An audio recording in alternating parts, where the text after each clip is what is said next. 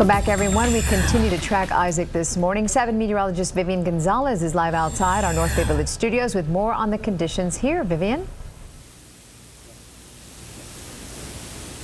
Good morning, ladies and South Florida. I'm meteorologist Vivian Gonzalez live outside our Channel 7 studios. It's pretty cloudy and we are getting some light drizzle right now. We did see some heavier rain earlier this morning, but as we pan out live outside, we can definitely tell that it's pretty gloomy. We have a lot of clouds around. There is some rain and the bay is at a light chop right now. That's all going to change throughout the day as we do expect the winds to start to pick up out of the northeast anywhere between 20 and 25 miles per hour. So surf Boating not advised at least throughout the next couple of days because conditions from this point forward are just going to continue to deteriorate, just get worse. So for today, expect the outer bands to continue to move in and out from Tropical Storm Isaac. So we've already seen severe weather this morning, some strong thunderstorms around east central Miami-Dade that prompted a severe thunderstorm warning. And now the majority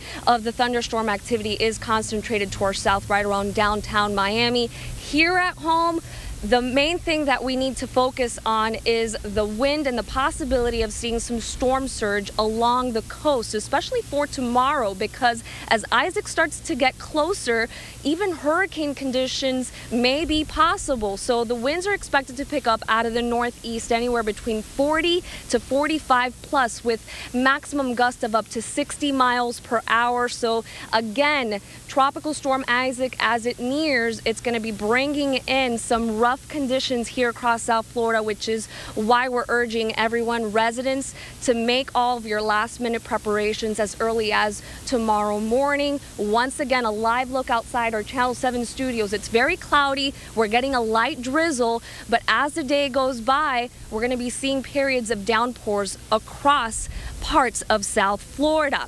Now, as far as storm surge is concerned, along the coastline as Isaac nears, because that's one of the main things when we have a system that is going to be moving close by, since we're going to be on the dirty sector, as Chief Meteorologist Phil Ferro has been stating all morning long and since yesterday, it's the northeast quadrant of the system. This is where the strongest showers and thunderstorms are located with Tropical Storm Isaac. They are going to be bringing in some squally weather, the possibility of seeing some isolated tornadoes. But this also brings a bank of water right by the coastline. And in times of high tide, we can see storm surge of up to one to three feet along the southeast Florida coastline. And this extends around parts of Florida Bay, parts of the Florida Keys as well. That's the very latest live outside our Channel 7 studios. I'm meteorologist Vivian Gonzalez.